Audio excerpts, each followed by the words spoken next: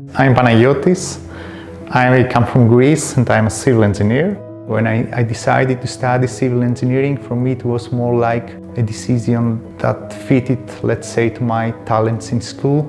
I always loved applied physics and mathematics and I thought that civil engineering is a great place to apply this.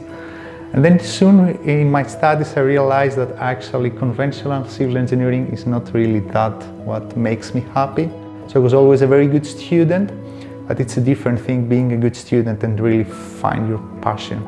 So I wanted to have more physics in uh, what I'm doing every day. Sometimes during the studies we tend really to focus too much on the problems that we have in our domains and uh, sometimes the same problems can be solved much easier if we apply tools from other domains. ETH provide me all the tools I needed for this and I would summarize it in three things. Inspiring people working around me, all available resources to study what I love, and opportunities to explore my talents.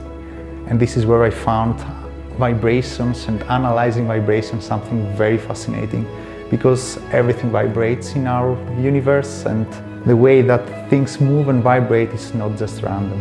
Buildings do not live forever, they are not designed to live forever and uh, in our case in Europe already a big part of the existing inventory has reached this expiration date. Now the problem is that we don't really know what material was used 50, 60, 100 years ago, how this material changed along the time, and how actually uh, how far we can trust it. So recent bridge collapses in Italy, in the United States and in other countries in the world demonstrate that we fail to manage the risks in our built infrastructure.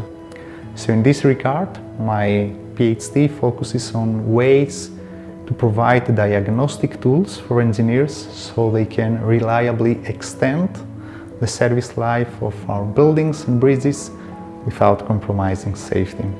I have been a lot of years in the universities. I studied for five years in Greece and two years uh, for my master's at ETH. Now I'm another four years as a PhD student. Uh, the things that I would do differently, of course, would be to explore the opportunities that the university gives outside the curriculum. Ways to cooperate with people, with students from other disciplines.